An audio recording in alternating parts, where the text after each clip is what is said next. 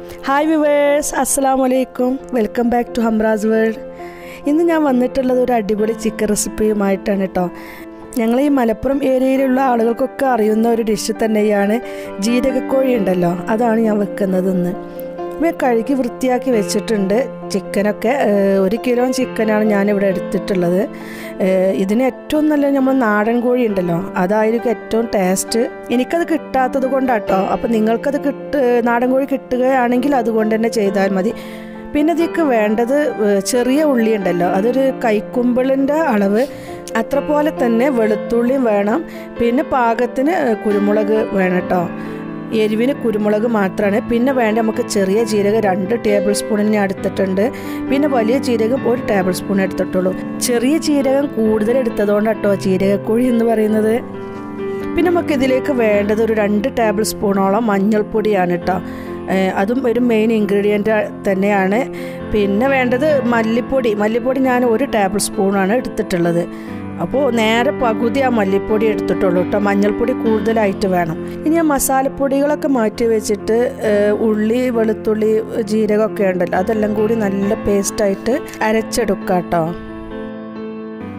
അപ്പോൾ ഫ്രണ്ട്സ് നിങ്ങൾ ഞങ്ങളുടെ ചാനൽ ആദ്യമായിട്ട് കാണുന്നതെങ്കിൽ ഒന്ന് സബ്സ്ക്രൈബ് ചെയ്യണേ. തൊട്ടടുത്തുള്ള ബെല്ലൈക്കണും കൂടി നിൽക്കിയേ കേട്ടോ ഈ വീഡിയോ ഇഷ്ടപ്പെട്ടാൽ എന്തായാലും ലൈക്കും കൂടി ചെയ്യണം മറക്കരുത് കേട്ടോ അപ്പോൾ നല്ലോണം പേസ്റ്റായി തന്നെ അത് അരഞ്ഞ് വന്നിട്ടുണ്ട് കേട്ടോ ഇനി നമുക്ക് ചിക്കന് നേരെ കുക്കറിലേക്ക് ഇട്ട് കൊടുക്കുക അതിക്ക് അരച്ച് വെച്ച മിക്സ് ഉണ്ടല്ലോ അതും കൂടി ഇട്ട് കൊടുക്കുക ഞാൻ ജസ്റ്റ് ആ ഗ്രൈൻഡർക്ക് കുറച്ച് വെള്ളം ഒഴിച്ചിട്ടുണ്ട്. ഒരു അര ഗ്ലാസ് വെള്ളം ഒഴിച്ചിട്ട് അതിന്റെ മസാലയൊക്കെ ഒന്ന് വരാൻ വേണ്ടിയിട്ട് ഒന്ന് ഒഴിച്ചിട്ടുണ്ട് കേട്ടോ പിന്നെ അതിലേക്ക് ഒരു ചെറിയ തക്കാളി ഇട്ട് കൊടുക്കുക. പിന്നെ നമ്മൾ ഈ മസാലപ്പൊടികളുണ്ടല്ലോ അതും കൂടി ഇട്ടിട്ട് ഉപ്പും കൂടി ചേർത്തിട്ട് നല്ലോണം ഒന്ന് മിക്സ് ചെയ്ത് കൊടുക്കുക കേട്ടോ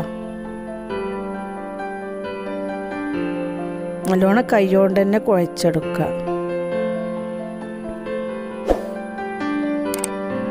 ഈ രണ്ട് മൂന്ന് വിസിൽ വരുവോളം നമുക്കിത് വേവിച്ചെടുക്കുക. ഒരു മൂന്ന് വിസിൽ വന്നിട്ടുണ്ട് ഞാൻ ഓഫ് ചെയ്തിട്ടുണ്ട്. അപ്പോൾ നല്ല ഗ്രേവി ആയിട്ടൊക്കെ കാണുന്നുണ്ട്. ഇനി നമുക്കൊരു ഇരുമ്പിന്റെ ചട്ടി അല്ലെങ്കിൽ ഇൻഡാലിയത്തിന്റെ ചട്ടിയോ ഒക്കെ ഒരു കട്ടിയുള്ള ചട്ടിയിലേക്ക് വെളിച്ചെണ്ണ ഒഴിച്ചു കൊടുക്കുക. ഈ എണ്ണയിലോട്ട് ചെറിയ ഉള്ളിയും വെളുത്തുള്ളിയും ഒരേ അളവിലെടുത്തിട്ട് കുറച്ച് അധികം എടുത്തോളൂ കേട്ടോ എന്നിട്ട് കുറച്ച് കറിവേപ്പിലയോട്ട് ഇട്ടിട്ട് കൊടുത്തിട്ട് നല്ലോണം ഒന്ന് വഴറ്റി കൊടുക്കുക.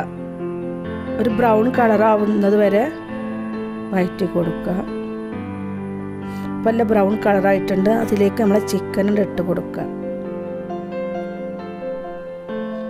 ഇനി നമുക്ക് ചെറിയ തീയിലിട്ടിട്ട് ഇതിങ്ങനെ കുറുക്കിയെടുക്കുക. ഈ ചിക്കന് അതിന്റെ ചിക്കനിലൊക്കെ ഈ മസാല പറ്റി പിടിക്കുന്നൊരു സ്റ്റേജ് ആവുമ്പോൾ നമുക്കത് തീ ഓഫ് ചെയ്യാം. തീ ചെറിയ സിമ്മിലിട്ടിട്ട് ഇങ്ങനെ ഇടയ്ക്കിടയ്ക്ക് ഇളക്കി കൊടുത്തുകൊണ്ടിരിക്കണം കേട്ടോ. അല്ലെങ്കിൽ അടിയിൽ പിടിച്ചുകൊണ്ടിരിക്കും. ഒരു ബ്രൗണ് ഒരു ഡാർക്ക് ബ്രൗൺ കളർ ആവുന്നത് വരെ നമുക്ക് ജസ്റ്റ് ഇത് ഇളക്കി കൊടുത്തുകൊണ്ടിരിക്കുക അപ്പോൾ നമ്മൾ ചിക്കൻ ഇവിടെ നല്ല റെഡിയായി വന്നിട്ടുണ്ട്. എണ്ണയൊക്കെ തെളിഞ്ഞ് വന്നിട്ടുണ്ട്. നല്ല ടേസ്റ്റാണിത് അത് ഇത് കൂടുതൽ ഈ ഡെലിവറി കഴിഞ്ഞ സ്ത്രീകൾക്കൊക്കെ ഇങ്ങനെയാണ് ചിക്കനായാലും ബീഫായാലും മട്ടനൊക്കെ വെച്ച് കൊടുക്കാറ്. ചെറിയ ജീരകവും മഞ്ഞൾപ്പൊടി അതുപോലെ കുരുമുളക് ചേർത്തുന്നതുകൊണ്ട് നല്ലൊരു ഹെൽത്തി ഒരു ചിക്കനും ഗ്രേവിയും കൂടി തന്നെയാണിത്. അപ്പോൾ എല്ലാവരും ട്രൈ ചെയ്യുക. ഫ്രണ്ട്സുകൾക്ക് ഷെയർ ചെയ്യാൻ മറക്കരുത്. ഇപ്പോൾ തന്നെ ഒന്ന് ലൈക്ക് ചെയ്തേക്ക് കേട്ടോ സബ്സ്ക്രൈബ് ചെയ്യാനും മറക്കരുത്.